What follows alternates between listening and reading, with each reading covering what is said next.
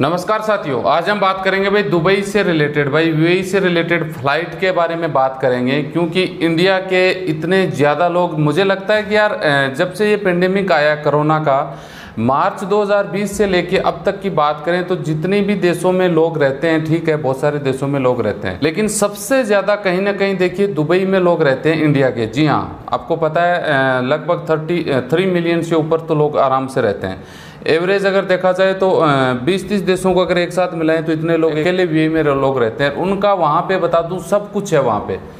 उनका ज़िंदगी वहीं से शुरू हुई थी, वहीं पे उनकी ख़त्म हो जानी है। आपने देखा होगा, उनका इतने ज़्यादा लोगों की परेशानी का सामना उनको करना पड़ रहा है फ़्लाइट की वजह से। आपको पता है, पंद्रह, अभी जो फ्लाइटें लोग आए थे, बहुत सारी, लाखों की संख्या में लोग बैठे हैं इंडिया में। मैं बता दूँ, छुट्टी आए हुए लाखों की संख्या में बैठे हैं।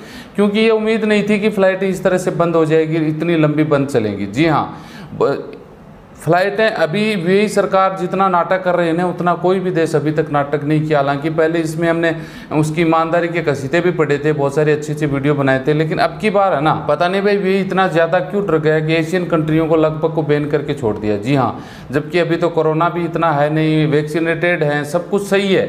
यानी इंडिया के जो लोग दुबई में जाएँगे, उनकी वजह से कोरोना नहीं होगा, ये सौ परसेंट सही बात है, फैक्ट है।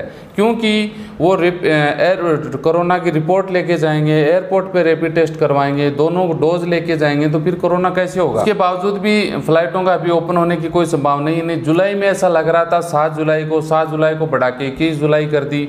अभी जो इमरेट्स एयरलाइंस है वी की, उन, वो बता रही है कि भाई पंद्रह जुलाई तक आपको वेट करना पड़ेगा। पंद्रह जुलाई को हो सकता है नए अपडेट आए तो फ़्लाइट चालू हो जाए।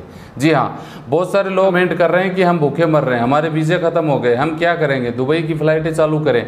लेकिन भाई जहाँ तक मुझे उम्मीद है कि एयरलाइंस के हाथ में क्या है? फ़्लाइट चालू करना।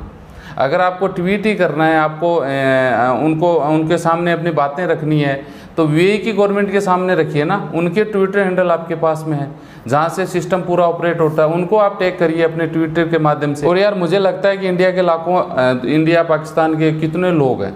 अगर आप एक दिन मुहिम चला दें कि भाई जहाँ से सिस्टम ऑपरेट होता है, बीए की फ़्लाइटों का, वहीं से एक ऑपरेट सिस्टम चला दें, लाखों की संख्या में रिट्वीट हो जाएँ तो क्या उनको थोड़ा बहुत फ़र्क नहीं पड़ेगा? फ़र्क तो पड़ेगा ना, क्योंकि संगठन में शक्ति होती है, वो माइंड में उसके बाद डलती है कि हाँ रियल में लोग परेशान हो रहे हैं। बता दूँ, लोगों लोगों, लोग इतने कमेंट कर रहे हैं, इतने लोगों की परेशानी हो रही है, लोगों के देखिए, वीज़ा ख़त्म हो गए।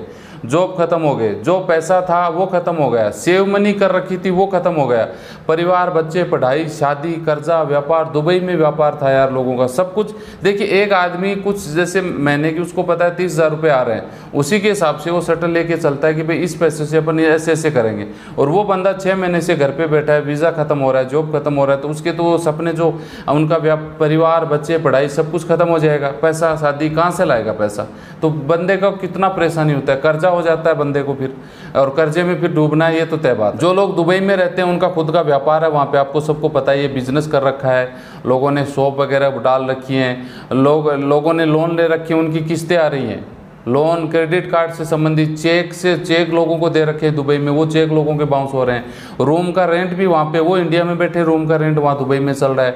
वर्कर की सैलरी ये भूखमरी के हालात पैदा हो रहे हैं दुबई से रिलेटेड जी हाँ क्योंकि जो लोग दुबई में बिज़नेस करते हैं, वो चाहे इंडिया में बैठे रहो, उनका खर्चा वहाँ पे भी आज उतना ही लग रहा है जितना वो वहाँ रहते तो लगता। रूम रेंट आपको पता है, लगेगा। अगर आपने क्रेडिट कार्ड ले रखा है तो बैंक वहाँ का इतना सिस्टम है कि हमें नहीं पता जी, हमें किस चुकाओ वरना दुबई में बता दूँ लेन देन का जो मामला है ना, वो क्रिमिनल केस बन जाता है उसका। मुकदमा लग जाता है, फिर आउट जेल जाना, फिर आउट आउट ब्लैक लिस्ट हो जाना। एकदम ईजी ब्लैक लिस्ट हो जाता है आदमी, वे मिल, पैसों के लेन देन के मामले में।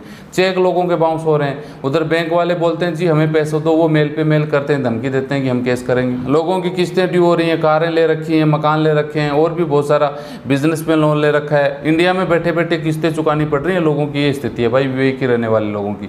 तो कहने का मतलब बड़ी प्रॉब्लम है, ख़ास तौर से दुबई में रहने वाले इंडिया के लोग हैं, उनकी बता दूँ, क्योंकि कुवैत में, सऊदी में इतना लोगों का बिज़नेस नहीं है, ओमान, कतर, बहरीन में। दुबई में सबसे ज़्यादा है।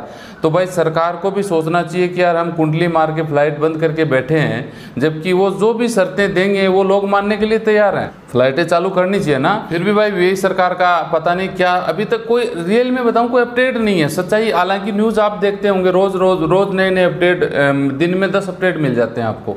लेकिन फैक्ट कोई नहीं है उसमें, कोई सच्चाई नहीं है। एयरलाइंस की तरफ़ से अपडेट आता है। भाई एयरलाइंस का मैं तो अपडेट मानता नहीं कि एयरलाइंस ने बोल दिया जी पंद्रह तारीख एयरलाइंस के क्या हाथ में उनको तो आगे से आदेश मिलेगा। वे सरकार आदेश देगी ना, तभी तो फ़्लाइट चालू करेंगे। हाँ वो एक अंदाज़ा बता सकते हैं, पंद्रह जुलाई, डेट देते रहते हैं, तीन महीने हो गए आज। हर महीने में डेट दो से तीन डेट मिल जाती है। अभी 21 जुलाई तक की इंडियन एयरलाइंस हैं, वो इंडियन 21 जुलाई तक दे रही है, वो 15 जुलाई तक दे रही है। यानी टिकटें बुक करवा लो जी, लाख रुपए की, सत्तर हज़ार, अस्सी हज़ार की टिकटें आ रही हैं। टिकटें बुक मत करवाना भाई, सीधी बता दूँ, वरना कोई भरोसा नहीं है लोगों का कि आप टिकटों का करोड़ों अरबों रुपये पूरे पाँच, सात देश, एशियन कंट्री हैं, अरबों रुपये चले जाएँ टिकटों में और पता चले फ्लाइटें आगे किस गई। थोड़ा सा वेट करिए, बाकी वैक्सीनेशन करके तैयार रहिए, क्योंकि जाने वाले वही हैं जो रेजिडेंशियल वर्कर हैं। यार, दोनों ने डोज लगा रखे, वही लोग जाएँगे। बाकी विज़िट वीज़ा, हालाँकि एक्सपो 2020 है, वो स्टार्ट होगा, नो डाउट। अगस्त सितंबर साइड में है ना, सितंबर या अक्टूबर में तो होगा वो। तो फ्लाइटें तो चालू करनी पड़ेगी, लेकिन विज़िट जो रेजिडेंशियल वर्कर हैं, उनके लिए ज़्यादातर खासतौर से बड़ी प्रॉब्लम आ रही है। तो बस ये अपडेट देना था साथियों। आगे जैसे कोई नया अपडेट आएगा, हम आप लोगों को ज़रूर शेयर करेंगे। वीडियो अच्छा लगे, लाइक शेयर करिए। मिलते हैं नेक्स्ट वीडियो में अच्छी जानकारी के साथ। जय हिंद, जय भारत।